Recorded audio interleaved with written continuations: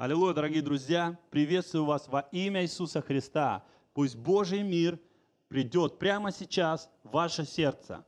Потому что без мира Божьего у нас переживания в жизни, стрессы, депрессии, нет радости. Но когда приходит мир, это, знаете, это как сытость для человека. Когда он только что страдал, ему нечего было есть, он поел, ему хорошо. Вот так же мир для души. Когда тебе хорошо, и тебе должно быть хорошо. Иисус пришел на эту землю, чтобы тебе было хорошо. И две вещи я хотел бы вам сегодня пожелать и оставить, вдохновить. Оставайтесь голодными, оставайтесь жаждущими по Богу. Потому что если у нас не будет этих двух факторов, то мы ничего не сможем от Бога получить. Блаженны плачущие, блаженны алчущие. Понимаете, Иисус говорил, что блаженны, ибо они насытятся. Бог будет давать тем, кто голодный. Аминь.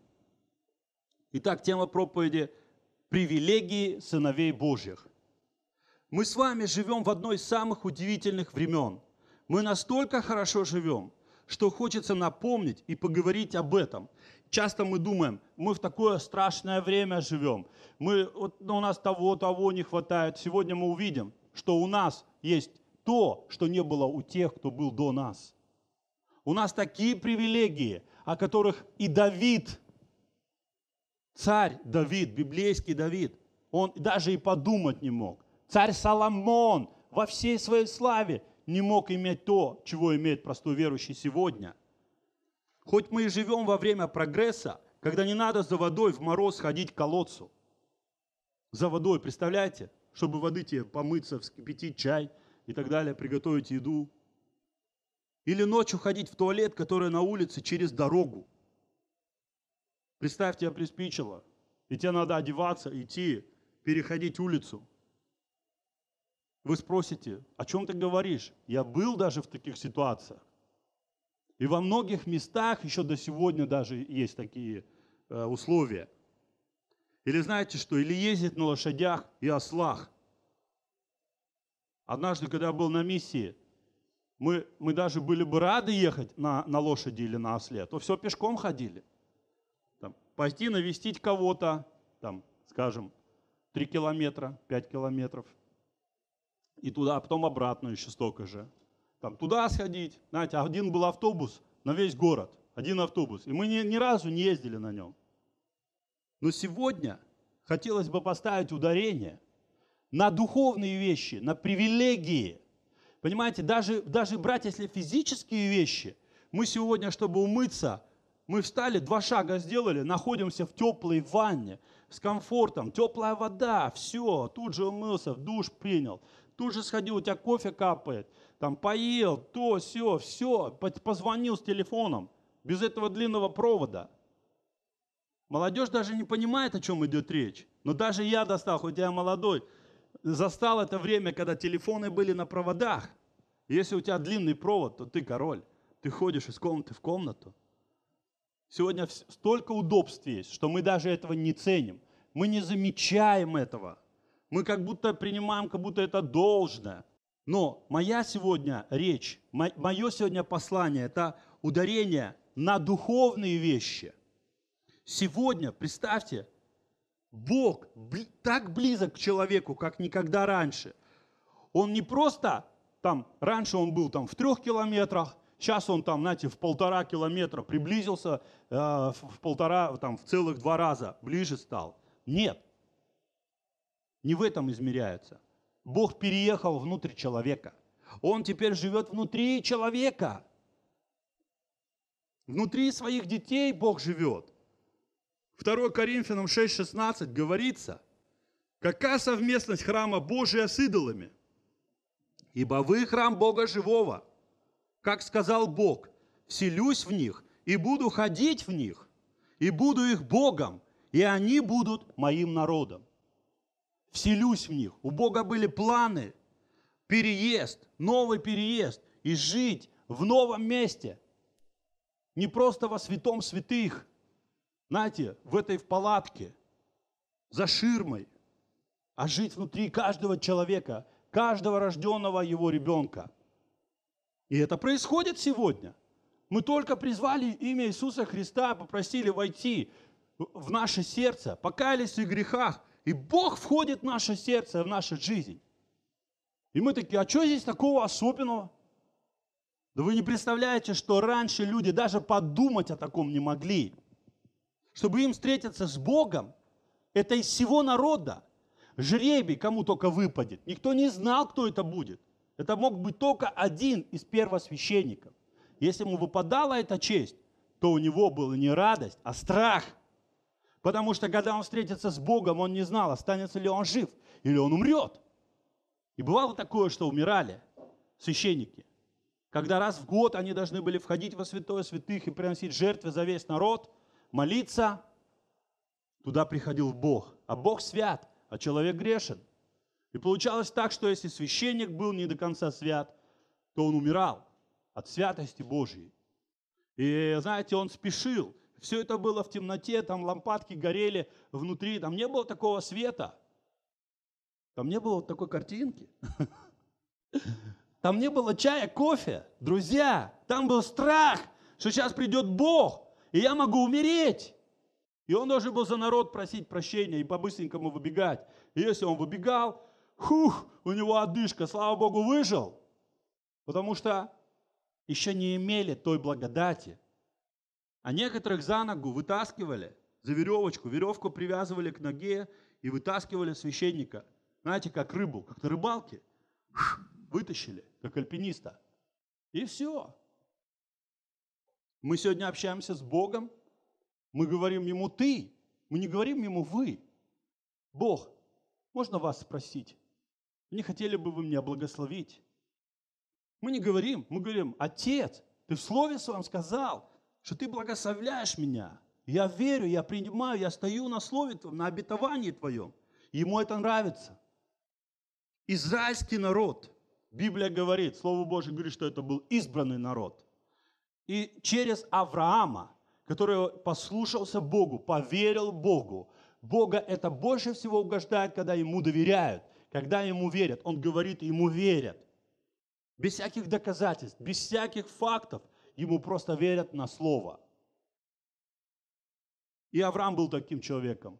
Бог призвал его. Я не знаю, по какой причине, откуда он появился вообще Авраам. Он даже евреем не был. Он был из Ура Халдейского. И Бог его призвал.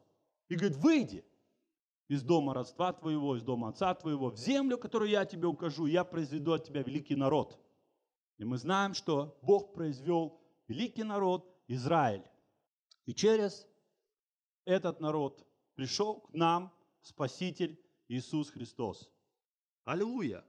И мы теперь дети Божьи, потому что приняли Иисуса Христа. Мы вошли во Христа, мы находимся в Нем. Израильский народ был избранным народом Божьим, а мы рожденные дети Божьи. Это большая разница. Когда ты избран, народ Божий был избран, да? Израиль был избран из всех других народов, но генетика у них не была Божья. Это не было произведение Бога. Это не было от его семени. Это все равно там было семя бунта, семя греха. И мы видим, как Бог, Он говорил, и как Он даже наказывал свой народ, и позволял захватывать другим народам, в рабство их отдавал чтобы они задумали, чтобы они начали вопить к Богу, чтобы они каялись. И это на протяжении всего Старого Завета Бог посылал пророков не для того, чтобы передать просто хорошую новость, а для того, чтобы привести людей к покаянию, потому что люди далеко отходили от Него. Мы же не просто избранный народ. Мы, мы раньше вообще не могли даже мечтать о том, что имел, имел избранный народ, потому что они имели заповеди, они имели живого Бога, как-никак они имели, они имели закон, и если ты исполняешь закон, ты будешь жив. Мы не имели даже этого. Но во Христе мы не то, что это имеем, мы имеем намного больше. Мы рожденные дети Бога. Дети Бога. Вы просто вдумайтесь в этом. Иногда разум наш, он не даст нам это до конца осознать. Но мы, Библия говорит, что мы дети Божьи. Мы рождены от Него. Иоанна 1.12. Сегодня будет очень много Слова Божьего, чтобы все было подтверждено Словом Божьим. А тем, которые приняли Его, верующим во имя Его, дал власть быть чадами Божьими, которые не от крови, не от хотения плоти, не от хотения мужа, но от Бога родились. Итак, если мы приняли Иисуса Христа, мы от Бога рождаемся. Итак, следующие привилегии. Мы сегодня будем говорить о том, что люди в Новом Завете имеют те привилегии, о которых ветхозаветние даже и подумать не могли. Как я говорю, Соломон даже не мог подумать, Моисей даже не мог подумать, Давид не мог подумать, Авраам не мог подумать, хотя Авраам назван другом Божьим. Но мы имеем намного больше. И мы имеем именно привилегий. Не из-за того, что это мы, а из-за того, что это Новый Завет. И мы родились в это время. Люди, жившие до Христа, были ветхозаветные. А мы во Христе новозаветные. Мы не относимся к Старому Завету, к Ветхому Завету. Мы относимся к Новому Завету.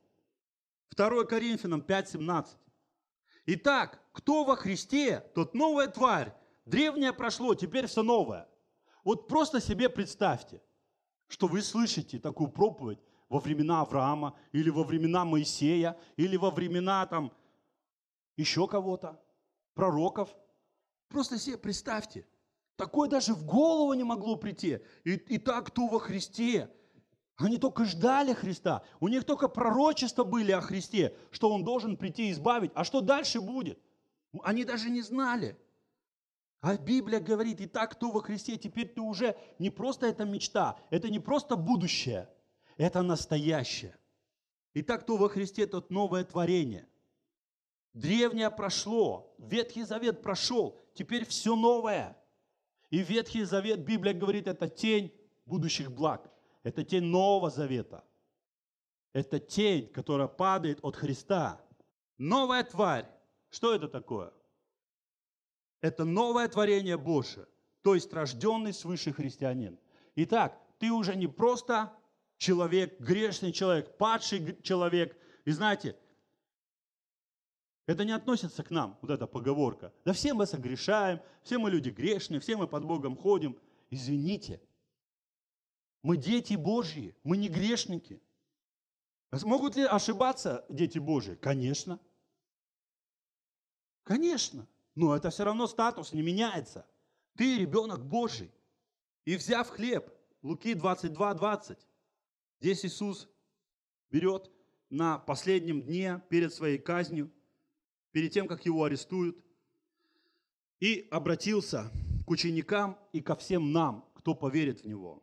И взяв хлеб и благодарив, преломил и подал им, говоря ей, «Сие есть тело мое, которое за вас предается. Сие творите в мое воспоминание». Также и чашу после вечери, говоря, «Сия чаша есть новый завет в моей крови, которая за вас проливается». Итак, с чего начался Новый Завет? Почему мы новозаветние, а они старозаветние? Почему? Потому что кровь Иисуса Христа. Именно кровь Иисуса Христа отделяет Ветхий Завет от Нового. Именно сам Господь Иисус делает это. Сам Господь Иисус, Он имеет вот это разделение до и после. Поэтому мы, те, которые омыты кровью Иисуса Христа, мы, которые в Новом Завете находимся, Бог с нами, с церковью заключил Новый Завет –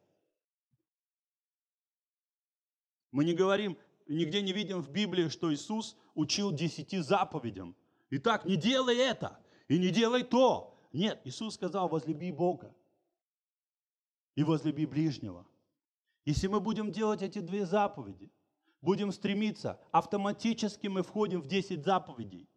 Но если же мы пойдем неправильным путем и начнем исполнять 10 заповедей, то мы никогда эти две не исполним, и, соответственно, мы никогда не будем совершенными. Итак, привилегии Нового Завета. Это привилегии. Я просто хочу, чтобы мы увидели, чтобы мы не грустили, чтобы мы не думали, что мы так плохо живем, что у нас все так не так, как было в одни Или или в одни Моисея, когда они слышали это, эти слова. Чтобы мы увидели, насколько больше благ распространяется на нас, насколько у нас есть привилегии, которые не было у Моисея, и не было у Илии, не было, не было у других, у Самуила не было, ни у кого из них. Итак, Евреям 8.7. Если бы Первый Завет был без недостатков, то не было бы нужды во втором.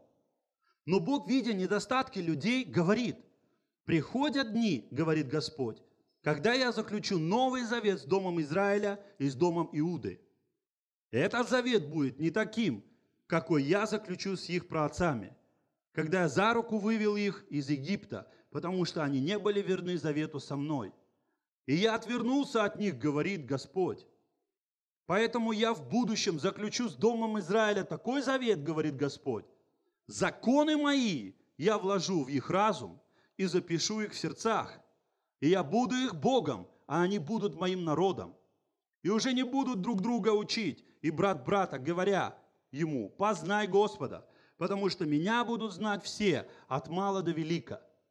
Ведь я прощу их беззаконие и больше не вспомину их грехов. Он назвал этот завет новым и тем самым показал, что первый завет устарел, а то, что устарело и обветшало, скоро исчезнет. Итак, мы видим, что первый Ветхий Завет, он не был плохим. У Бога был план, переходный план, постепенно. Ты никогда не узнаешь, что такое хорошо, если тебе не было плохо. Ты никогда не узнаешь, что такое истинная радость. Ты никогда не узнаешь, что такое настоящая любовь, настоящая дружба. Ты никогда не узнаешь, что есть настоящее, если ты никогда не увидел, что есть другое. Итак, мы видим, что Бог заключил завет, но знал заранее, что будет еще другой завет через кровь Его Сына. И сегодня Бог не воспринимает нас – не воспринимать. Раньше, если люди могли прийти пред Бога и сказать, Господь, я исполняю 10 заповедей. Я исполняю 10 заповедей. Знаете, как молодой юноша. Я исполняю все 10 заповедей. Почему у меня проблема внутри? Откуда проблема? А Иисус ему говорит, твоя проблема то, что тебя нету в моей жизни. Вот твоя главная проблема. Вот, и он позвал его, будь со мною, иди следуй за мною. И он не смог. Понимаете? Ветхозаветние, следующая привилегия. Новозаветних верующих. Ветхозаветные люди ожидали Мессию, а мы общаемся с Мессией. Как мы в песне пели, мой друг и царь, помазанник, то есть Мессия, мой друг и царь. Он не просто стал моим Богом, которого я боюсь, знаете, которого я, знаете, трепещу, и только в ногах. Он друг. И он сам сказал, вы больше не рабы мои. Вы друзья мои. Я вас зову к себе в комнату, к себе домой.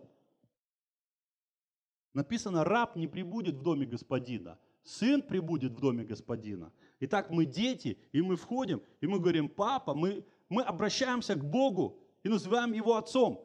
Вы где-то такое в Старом Завете можете найти, чтобы кто-то называл Бога отцом, папой? Как Библия говорит, Ава Отче. Ава Отче для нас звучит непонятно. Но если перевести, это уменьшительно-ласкательное слово «папа». И сегодня к Богу верующие обращаются, говорят «папа». Представляете? А почему? А почему не могли это старозаветные? Потому что у них не было этих откровений. Не было еще Христа. Потому что Христос принес совершенно новое. Он принес взаимоотношения сына и отца. И он показал нам их. Мы думаем, для чего пришел Иисус? Спасти нас от ада. Да, спасти нас от ада. Но не только. Он принес нам также взаимоотношения. Он показал пример. Вы знаете, что если ребенок никогда не видит хорошего примера, то он вырастет с плохими примерами и еще может преуспеть в плохом. Но если ему показать добрый пример, он будет брать этот пример. Он будет также вести себя по-хорошему в жизни. Вот почему Иисус позвал учеников, и вот почему они с ним были день и ночь в течение трех с половиной лет. И когда он находился с ними, он общался с отцом и не скрывал это от них. Он всегда говорил, отче, благодарю тебя за то, что ты услышал меня. И все евреи там, бу-бу-бу-бу-бу-бу-бу, быстрее камни искать. Как это он Бога называет отцом? Богохульник. Он говорит, это естественно, я его сын. И они готовы были убить его за это, за то, что он сделал Бога своим отцом. Как тебе не стыдно и так далее. Но Иисус всегда, он даже когда Лазаря пришел воскрешать, он говорит, отец, благодарю тебя, что ты услышал меня. Я тут не просто у тебя вымоляю, я молюсь просто ради них, чтобы они видели, как надо общаться с тобой. Ветхий Завет показывает нам отношения рабов, знаете, и царя. А Новый Завет показывает нам отношения отца и сына. И поэтому Иисус и говорил притчу о блудном сыне, что был отец и был сын. И вот потом они знаешь, у них была проблема, но эта проблема решилась. И они были снова в любви, им было хорошо, им было весело. Представь, тебе с отцом может быть плохо, просто потому что у тебя нет о нем откровений. Вот многим с Богом плохо. Вот я вам скажу, что новозаветний, вот, например, это не новозаветний Бог, это один и тот же Бог, просто он открывается по-разному.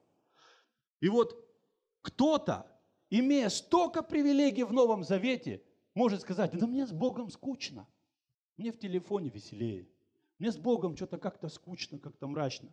Я тебе скажу почему. Ты его не знаешь, ты его не распробовал. Но когда ты его познаешь, когда ты вкусишь его, ты больше другого ничего не будешь хотеть. У тебя будет все твое нутро искать снова его. Итак, ветхозаветные люди ожидали Мессию, а мы общаемся с Мессией. Иоанна 4, 25. Женщина говорит ему, знаю, что придет Мессия, то есть Христос. Когда Он придет, то возвестит нам все. Она говорит, я знаю, что придет. Это будущее. И я так хочу встретить Его. Он нам все расскажет, Он нам все покажет, Он нас научит, Он поможет нам, Он избавит нас. Внутри ее теплилась эта надежда. А Иисус ей, возьми и скажи. Иисус говорит ей, это я, который говорю с тобою. И у нее шок у нее шок. Она всегда думала о будущем, но она не могла понять, что Бог он в настоящем. И он взял и открылся ей. И вы не представляете, просто конца счастья ее не было. Границы каких-то счастья ее не было. У нее настолько переполнила благодать, которая сходила от Иисуса. Дух Святой, любовь, все вместе. Оно просто ее как обдало ее, как кипятком обдало. Ей так было хорошо. Деяние 7.37. Этот, это тот Моисей, который сказал сынам Израилевым, пророка воздвигнет вам Господь Бог ваш из братьев ваших, как меня, его слушайте. Пророк Моисей. Он видел, он умел откровения, небольшие откровения, которые Бог давал ему, что придет Христос, придет Мессия.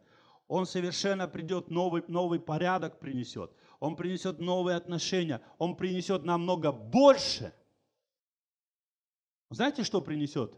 Вот как будто у тебя есть этот аванс, а он принесет тебе зарплату. Вот тебе дали аванс, Ветхий Завет. Но когда Иисус придет, Он принесет тебе остальную часть твоей зарплаты. И она будет настолько велика, чтобы нам представить, что, о чем говорил Моисей, что Он придет, Его слушайте, как меня, и слушайте его. Он указывал на Христа. Но это ну, надо было ждать еще несколько тысяч лет.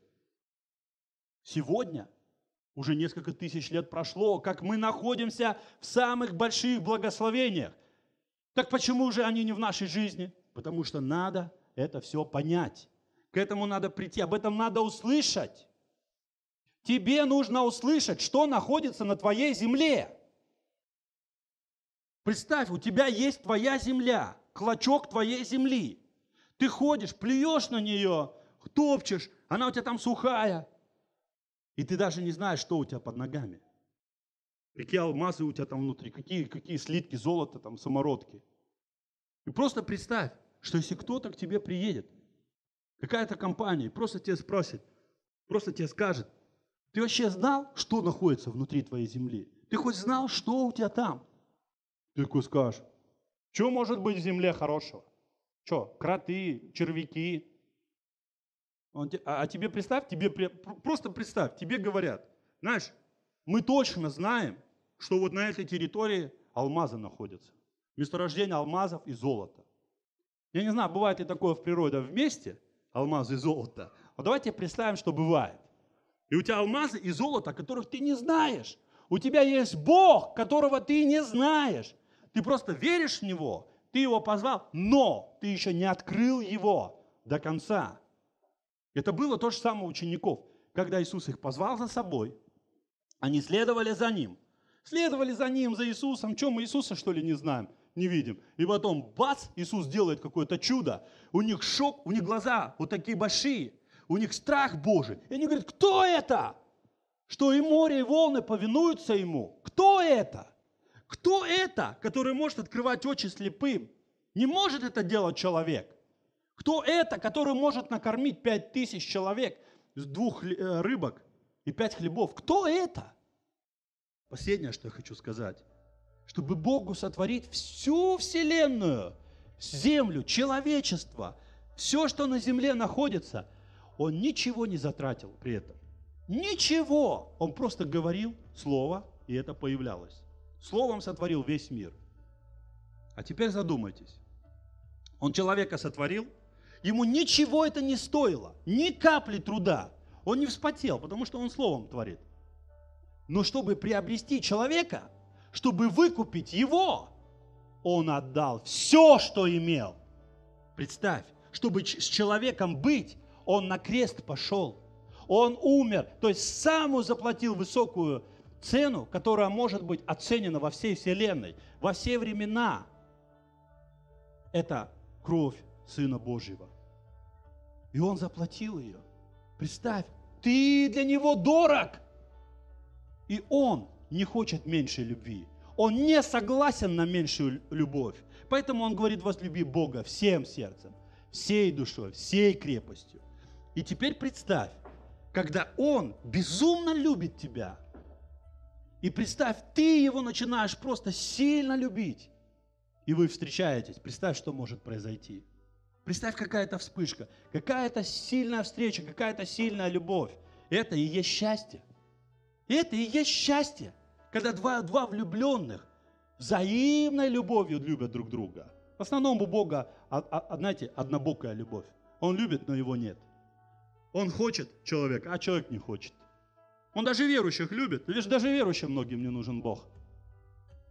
Но не нам, да? Аминь? Да будет так. Аминь.